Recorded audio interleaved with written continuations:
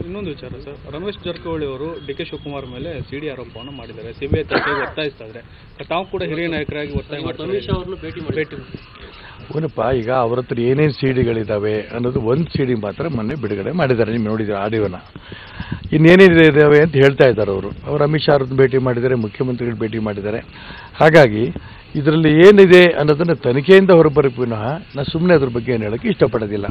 ಹಾಗಾಗಿ ಅವರು C B I ತನಿಖೆ ಅಪೇಕ್ಷೆ ಪಟ್ಟಿದ್ದಾರೆ, ಒಂದು ಆಡಿಯೋನ ಬಿಡುಗಡೆ ಮಾಡಿದ್ರಿಂದ ಸಿ ಬಿ ಐ ಮಾಡೋದು ಸೂಕ್ತ. ಆವಾಗ ಯಾಕೆಂದರೆ ಸಿ ಡಿ ಒಂದು ಕರ್ನಾಟಕ ರಾಜ್ಯದಲ್ಲಿ ಒಂದು ರಾಜ್ಯಕ್ಕೆ ಒಂದು ರೀತಿ ಕಳಂಕ ಅದು.